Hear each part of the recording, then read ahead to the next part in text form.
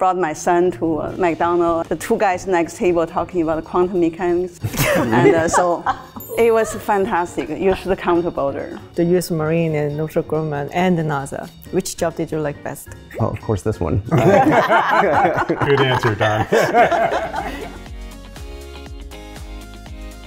I would like to hear some fun, interesting stories of yours because you guys are working really interesting places like NASA and NCAR.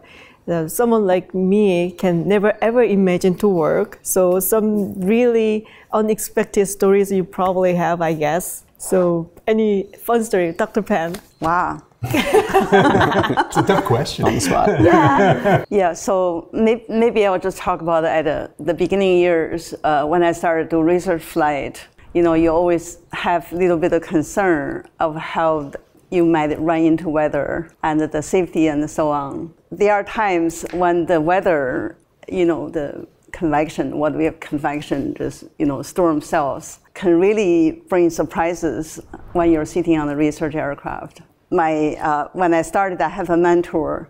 He used to tell me, I said, "What happened if we got run into the convection?" He said, "Oh, no problem. Your laptop just fly to the ceiling. You just capture it." so then later on, that I had that type experience, and I find that very, um, in some ways, liberating you know, because you used to have a fear. You know, I, you know, I remember my first research flight. There was a young woman get on the flight and I was telling people on the ground, tell my mom if I don't come back. You know, so very much feared of research flight. And uh, usually, once you have that kind of experience, you always get a fantastic data.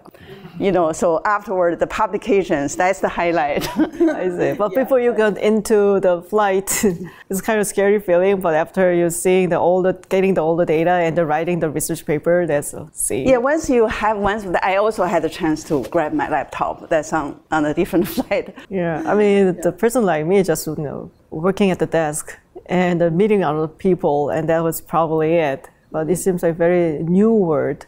I don't know the fantastic thing to experience to me. Yeah, it, it's a very um, challenging and rewarding career. I was working in Boulder, Colorado. I just been into Denver, and I thought it's fascinating place. I've never been to Boulder. So I working there. Come to Boulder next time. you know, in Boulder, usually we say Boulder has highest concentration of PhDs because we have a number of research labs and a university. And so my very first visit to Boulder, I moved with my husband uh, doing house hunting and brought my son to uh, McDonald's and uh, the two guys next table talking about quantum mechanics. and uh, so it was fantastic. You should come to Boulder. I don't know if I can pass to get living there.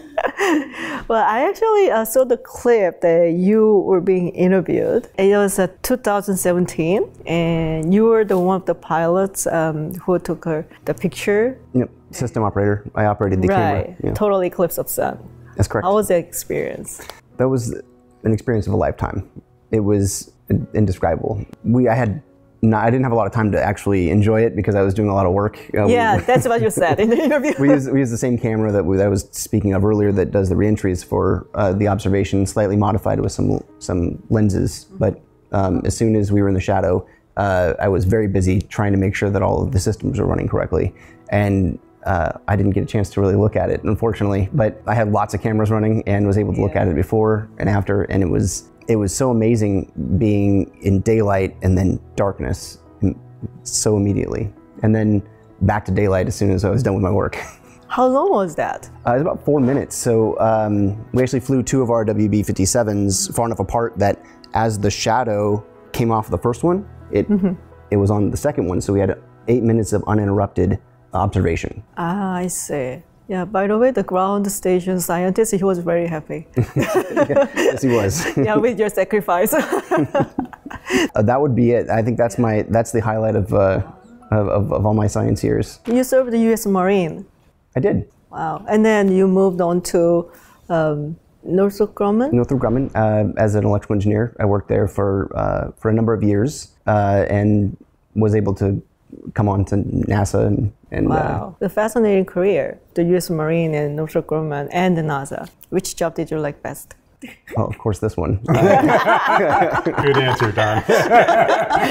Uh, this is by far the, the best out of all of them. Got to travel around the world and work with very interesting and, and smart people. I just some of the smartest people in the world, and it's been very fulfilling. And Dr. Newman, you're working at the Goddard Center, yes, the world famous one. just outside of Washington, D.C. There are 10,000 people who work at Goddard. Wow. So it's a very big center, all dedicated to satellite observations. We have a backup copy of what's called the Vanguard 2 satellite, which was one of the earliest meteorological satellite ever launched. But uh, we've got it hanging from the ceiling in, in our in our building, um, and so you see this long uh, history of satellite observations. You go to Goddard and you can walk over and, and watch the actual satellite operations rooms. So every different satellite has a different operations room. Um, so you can see, and there's lots of satellites. It's amazing how many are up flying.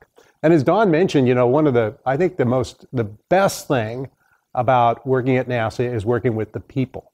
It's every day somebody walks into your office and says, Hey, I'm thinking about this. And they'll tell you something that's really interesting or a new idea to make a measurement. And it's just it's just fun. I mean, every day. Of course, you're always working on spreadsheets and doing budgets and other dumb stuff like the bureaucracy, which is not that fun. But you always have the sort of the enjoyment of somebody telling you something really interesting. And that is the, the great thing about working at NASA is somebody comes up with a new idea to do something really interesting and fun or cool or necessary. Uh, Actually, I think that's the we scientists we approach this from it's fun, it's interesting, it's cool. But a lot of times it's really important, and you don't really think so much about the importance as a scientist. You think about how interesting and fun it is. Um, that's the great thing about working at NASA. That's why I really like. it. I mean, it is um, named after Robert Goddard, Yes. who was very famous. Robert Goddard developed uh, was the, the developer of rockets. I think if you look back 100 years ago in the 1920s, the idea of launching things into orbit was inconceivable. People just didn't think about that. There, you know, maybe some funny movies about it, but people just didn't really think about what we could do from space. But now you see it every day. Every day people pull out their either you know their iPhones or whatever and they look at the weather and they don't realize that all a huge amount of the information to do our weather comes from those satellites.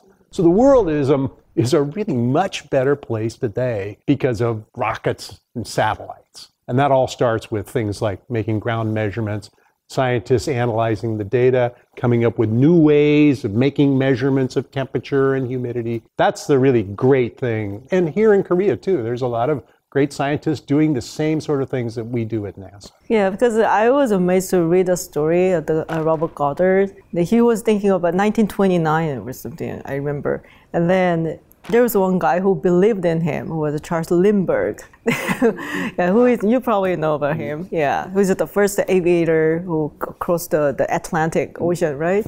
And then there's just really, really few number of people who believed in him, believed in his dream, and shared his dream, and that's actually the driving force that uh, led us to reach here, arrive here. The bunch of satellites, maybe they're watching us, but they let us know what kind of weather we're going to have uh, tomorrow, and also GPS and everything. That's a huge leap for the humankind. That's really amazing. So, Pe- People no longer use paper maps. Right. They have their phones, and their phones tell them where to go. and my son was asking me, so before the iPhone and before the, the, the smartphones and navigation system, the, how did you find the places with the map? well, you were this much close to go to the space, right? No, it's uh, it's quite a bit further. Uh, just because I'm at the top of the atmosphere doesn't mean that I'm I'm in low Earth orbit. Uh, it's, there's uh, quite a bit between uh, between where we would fly and the space station, but um, for the most part, no other people there. Right. So probably can have some new take or perspective. You know, going up that high probably give us some new thought about your life and Earth and I don't know, some philosophical thing. Yes, I, and I remember my first uh, set of high flights where I was doing my training and looking down and seeing you know hundreds of miles in each direction and thinking to myself there there are so many people down there with their own individual lives living the way that they that they do and, and it's it's uh, it's humbling. It, it really makes you think about how you can help better the cause of humanity. Yeah, because it's very it should be very quiet and dark. Well, there's the jet engines, so ah, I see. it's not very quiet. Okay, but it it's gets not that pretty dark. quiet. And Dr. Newman, you are an award-winning scientist. So you actually um, got another award this year as well. So as a prominent and as a very well-known and award-winning scientist, is there any word that you would like to tell the Korean people, and not just the Korean people, maybe to the future generation? I would say. I will tell us a story from when I was a young scientist. This is, goes back to 1987. And in 1987, we didn't know what caused the ozone hole. I will admit, you know, I had uh, three daughters, young daughters at the time, and I worried about the world a lot. I worried about what was causing the ozone hole. I didn't know that it was due to human produced compounds, but I thought it was. And I thought to myself, what's, what will happen to this planet, this Earth? You know, we all live in this very thin layer that surrounds this big rock, you know, and, and ball. I must admit that I had sleepless nights thinking about what was happening in our atmosphere, were we the cause of it, and what was going to happen in the future. And now I reflect back and I think, okay, the ozone hole was discovered in 1985. In 1987, we figured out what was causing it, and it was human produced compounds. The Montreal Protocol was signed in 1987. We went up to the Arctic. We found out that maybe there could be ozone holes in the Arctic if we did nothing. And the nations of the world actually signed on to the Montreal Protocol. They strengthened the Montreal Protocol. They added amendments to it. And in the mid 90s, we began to see the ozone depleting substances, they stopped growing. And through the 90s, we've seen them go down. New technologies were discovered to replace the compounds that we were using. And so, looking back in, in 2021 here, and looking back at what I was thinking in 1987, I've kind of become an optimist. I believe that one, we can figure out what's happening to the atmosphere. Two, political policymakers and industry in various organizations can act together to solve the problem. And we, as a modern society, can figure out how to find replacements. I, I still worry. I still have sleepless nights about things like climate change and what it means for my daughters, my granddaughters, my great grandkids.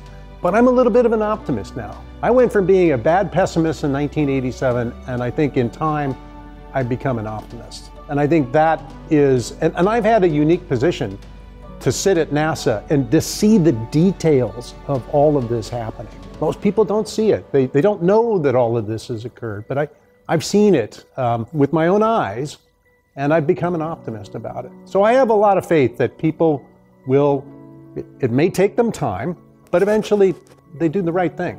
And I think people should be optimistic about the future. But of course, you have to make the decisions to do the right thing. It's been a really interesting conversation. Uh, well, to tell the truth, I almost failed in physics when I was high school student. so it was a little bit, um, I was a little bit scared to have this conversation with you guys. So, oh wow, this is the time, I mean, the, the moment of truth that how ignorant I am to all people. But it was really fascinating stories that we shared, and I believe our audiences will enjoy it tremendously. Well, thank you so much for being with us. Thank you so much. Thank you for inviting us, and thank you to the, the people of Korea for hosting us.